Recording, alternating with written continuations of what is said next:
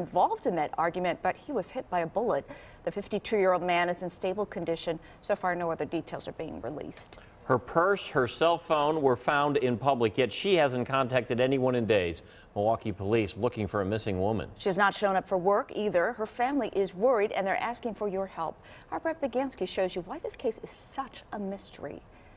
As soon as I get up, I'm out here looking for her. He remains hopeful, but Jeffrey Curran is on edge, waiting to know the whereabouts of his wife, 40-year-old Estella Curran, who he hasn't seen since Saturday. I'm late for work. Ooh, I'm late. I got to go. That was the last thing Estella's daughter heard her say as she rushed out the door Sunday morning for work at St. Camillus, but she never showed up. Fast forward three hours later, her purse and cell phone were found here at the O'Donnell parking structure with a note that said to call the house number if found. She always kept a note in there like if, if found because she is always misplacing things.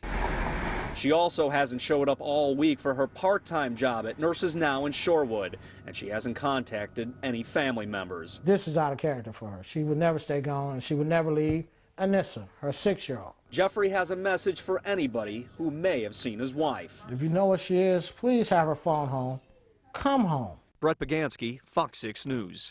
This is an active missing persons case. Milwaukee police are pursuing any and all leads. Meanwhile, her part-time job. Nurses now, they've set up a fund at U.S. Bank, and that money, we're told, would be used for any information about Estella Curran's whereabouts.